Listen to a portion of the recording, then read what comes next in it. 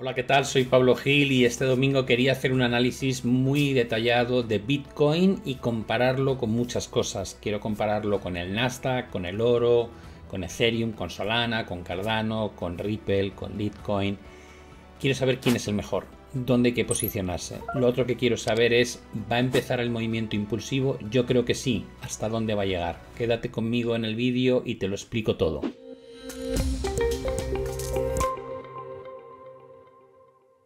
Vamos con ello. En primer lugar, eh, creo que Bitcoin no es como el resto, ¿vale? Eh, pero la pregunta primera sería, ¿qué se puede esperar de las criptomonedas para los próximos meses? Hemos visto un arranque muy potente durante 2024 que se extiende hasta marzo y a partir de marzo entramos en una fase de consolidación pesada, aburrida, con volatilidad, con cierto sesgo de caída, que en algunas altcoins llega a ser bastante importante la corrección. Y la gran pregunta es, qué va a pasar ahora de aquí a fin de año y principios del año que viene. Bueno, mi opinión es que vamos a ver un movimiento bastante potente al alza, pero creo que no todas lo van a experimentar de forma igual. ¿Cuál es mi consenso? Y me gustaría que me des tu opinión. Escribe directamente en el chat, según lo digo, no vale esperar al final porque entonces ya sabes en qué baso mis decisiones. ¿Crees que Bitcoin va a ser la referencia por arriba, es decir, el que mejor lo va a hacer de todas ellas? Esa es la primera pregunta. La segunda pregunta sería, ¿crees que va a llegar a 100.000 o no? Puedes poner hasta 100.000 o por encima de 100.000 y de esa manera hay como dos posibles respuestas. Bueno, pues vamos con ello. Lo primero de todo es tener en cuenta que eh, no hemos vuelto a la capitalización que había del mundo de las criptomonedas en el año 2021. ¿Qué quiere eso decir? Cuando hablamos de capitalizaciones, cuánto vale una criptomoneda como Bitcoin o un altcoin, teniendo en cuenta el número de monedas que hay emitidas por el precio de mercado que tiene en cada momento. Y como puedes observar, el pico absoluto se alcanza en finales de 2021 y es cierto que a principios de 2024 estuvimos muy cerca de llegar a ese mismo máximo, pero no fue posible.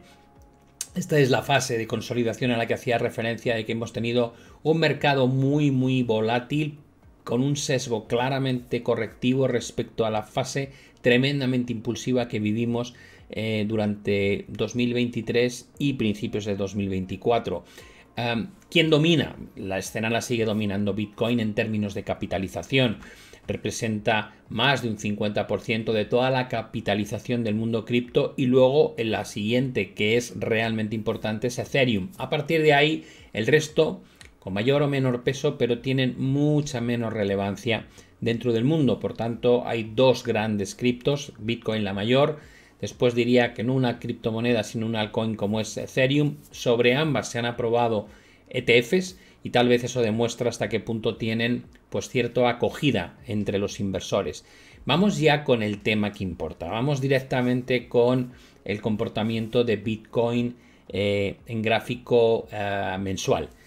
¿Qué quiere esto decir? Bueno, estamos mirando un gráfico de largo plazo. Voy a ponerme en pequeñito yo para que no eh, distorsione lo que es la visión del mercado. Estamos hablando de un, de un largo plazo donde lo que queremos ver es desde el año 2014-2015 cuál ha sido la tendencia que ha protagonizado Bitcoin. Y como veis, eh, se trata de un movimiento claramente alcista, con una serie de apoyos en la directriz, como en este caso es 1, 2, 3, 4 y 5. Y luego, a pesar de que esto es un máximo histórico, realmente la diferencia respecto a los máximos de 2021 es tan pequeña que simplemente podríamos decir que Bitcoin se encuentra en máximos históricos, lo cual da eh, la posibilidad de analizar esto como una estructura de consolidación lateral tipo triangular. Si hiciésemos ese análisis y de verdad eh, con, planteásemos que esto es un triángulo eh, que cuando se rompa va a dar pie a la continuación al alza, la proyección de un triángulo de semejante magnitud generaría movimientos al alza extraordinariamente grandes. Daos cuenta que lo que haríamos sería medir la anchura del triángulo y proyectarla hacia arriba, lo cual quiere decir que estaríamos trabajando con objetivos de aproximadamente subidas hacia los 128.000, 129.000, como veremos posteriormente, que también avala alguna otra técnica de análisis. En cualquier caso, lo más relevante es que las grandes fases correctivas que se dieron en Bitcoin durante 2018 y 2022 estaban precedidas por señales de sobrecompra extrema y ruptura de directrices en términos de RSI. Y a día de hoy no tenemos ni la sobrecompra extrema y mucho menos la ruptura de la directriz, sino que hay un, apoyo y un rechazo. Todo eso parece indicar que el, momento de Bitcoin no se asemeja para nada a un momento de corrección, sino más bien a un momento en el que cuando se rompa definitivamente este techo vamos a ver extensiones importantes hacia arriba que analizaré en breve para que veáis con distintas técnicas cuáles son los objetivos potenciales. En el caso de un gráfico semanal he querido resaltar algo que me parece muy relevante, que es lo que llamamos em, las bandas de Bollinger. Bollinger es un indicador de eh, volatilidad. Eh, la dispersión que existe en los precios se mide con desviaciones estándar por encima y por debajo y la diferencia o el diferencial entre la banda superior e inferior de esas desviaciones estándar se puede graficar. ¿Qué nos trae? Porque suena complicado pero no lo es. Cuanto más se mueve el mercado, más se amplían las bandas. Cuando se queda muy estancado, se cierran las bandas y cuando el cerramiento de las bandas es muy estrecho, como ocurre ahora mismo, fijaos que históricamente esta zona es muy relevante, suele ser un anticipo del inicio de un movimiento direccional potente. En, en algunos casos coincide con los momentos previos a las grandes tendencias que se producen en 2021 y en 2017. Otras veces son movimientos menores, eh, alcanzamos esto y vemos movimientos tendenciales importantes, pero no tan grandes como los que hemos identificado anteriormente. Y el hecho de que estemos aquí abajo, justo atacando la zona de máximos históricos, es muy relevante, porque si se rompen los máximos históricos, lo que me está indicando estas, esta eh, spread de bandas de Bollinger es que probablemente la reacción va a ser sustancial, va a ser significativa. Si ya me voy a un gráfico diario, hemos visto un mensual, un semanal y un diario, me centro simplemente en el price action, que es el comportamiento de la cotización de Bitcoin, teniendo en cuenta estructuras gráficas, y ahí llego a la conclusión que desde marzo eh, estamos en un proceso correctivo que está concatenando máximos cada vez más bajos, mínimos cada vez más bajos y que cuando se rompa este techo muy probablemente lo que va a provocar es un movimiento poderoso al alza que como veremos ahora la idea es cuantificar hasta dónde podría llegar con distintas técnicas.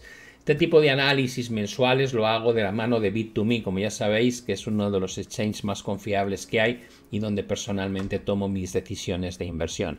Así que en la descripción os dejaré el enlace por si queréis ver qué capacidades de análisis hay dentro de la plataforma y por supuesto eh, qué tipo de información comparten a través de su academia, que es una forma muy buena de aprender sobre el mundo cripto si no tenéis una buena base o grandes conocimientos.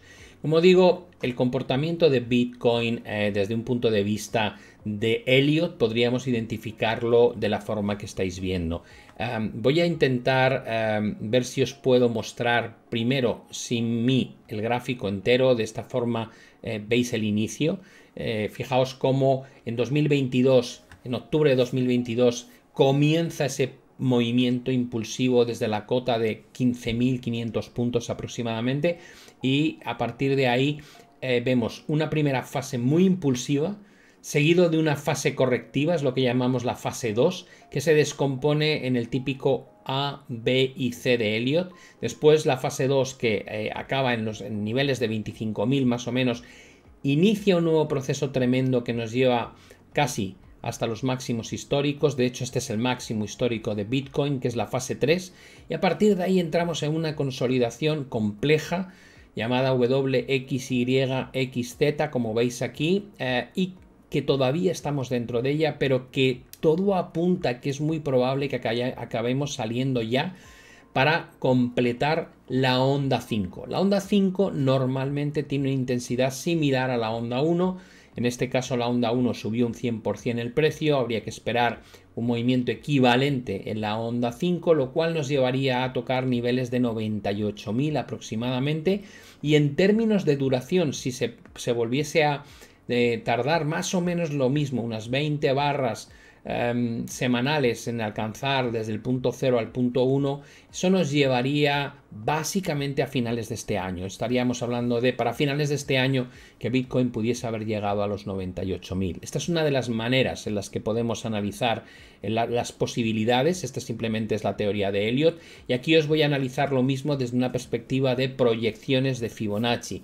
¿Qué significa eso? Pues básicamente que lo que tengo en cuenta es que la onda 3 que medíamos antes, cuando ha llegado la corrección, esa corrección ha sido justo de un 50%, lo cual está muy bien, y normalmente tras fases correctivas de este estilo, lo normal es que el movimiento que se lleva a cabo después de la fase correctiva sea una fase impulsiva del entorno del 100% del movimiento anterior y eso hace que la proyección desde aquí de nuevo apunte hacia los 98.000 puntos.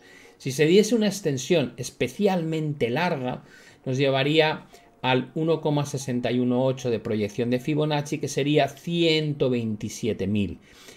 Podríamos decir que el riesgo es que la, que extensión tan solo sea de 0,618, con lo cual tendríamos el objetivo en 79.000. Pero teniendo en cuenta cómo ha sido todo el periodo de consolidación lateral y cómo estaban las bandas de Bollinger en zonas de contracción extrema, dudo muchísimo que cuando se rompa este techo vayamos a ver solamente un movimiento hacia esta cota, por lo cual me decanto por alguno de los otros dos escenarios.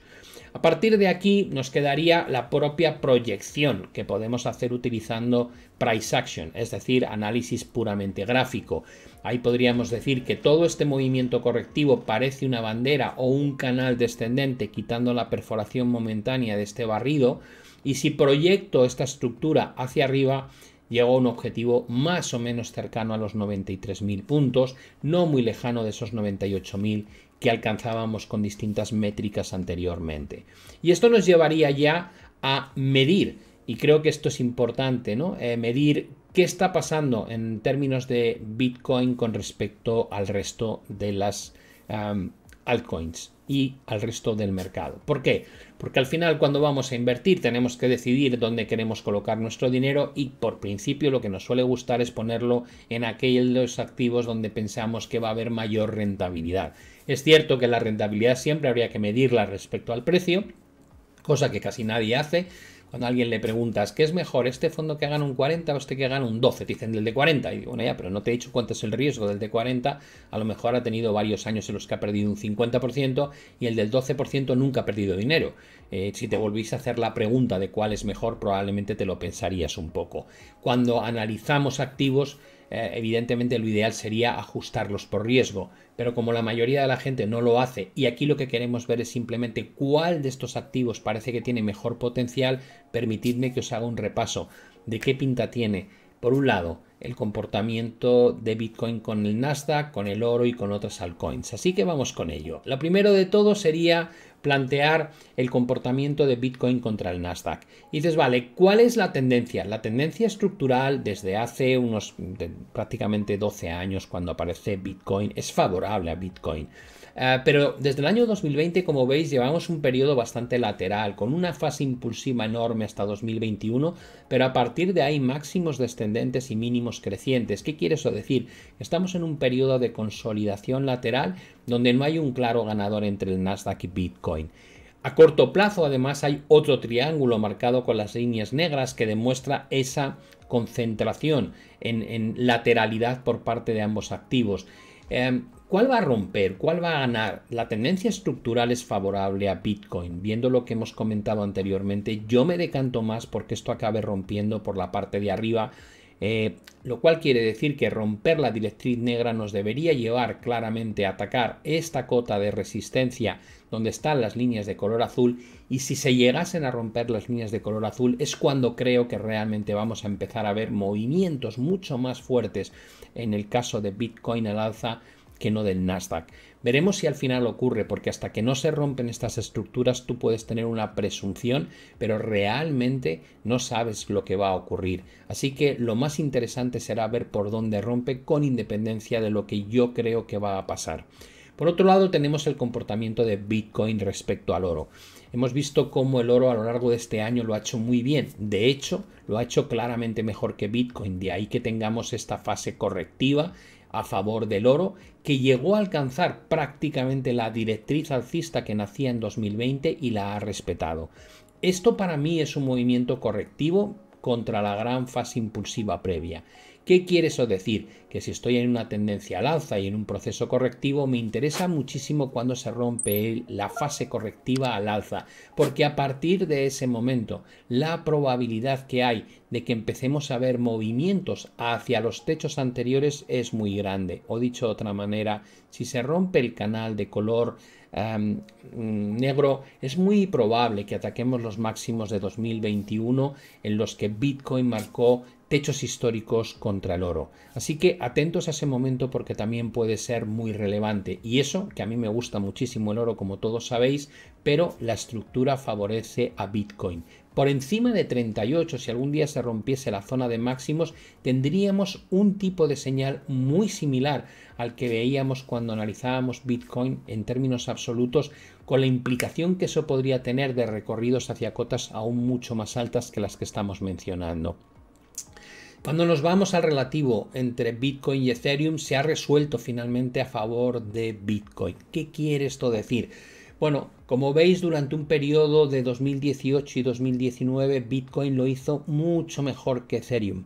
Pero luego, a lo largo de la segunda parte de 2019, 2020 y 2021, fue Ethereum el que consiguió devolverle casi todo el movimiento a favor de Bitcoin, esta vez en contra, es decir, Ethereum lo hizo mucho mejor que Bitcoin. Y luego a partir de 2021 entramos en una fase en la que no había un claro ganador, estábamos moviéndonos en un entorno meramente lateral, pero con la ruptura de la banda superior se ha activado el objetivo del 85% al alza. Y en este caso nos queda aproximadamente un 18% más a favor de Bitcoin que no contra mejor dicho, a favor de Bitcoin contra Ethereum, nos podría llevar a acercarnos a estos techos que vemos aquí y a una corrección que encajaría muy bien del 38-50%.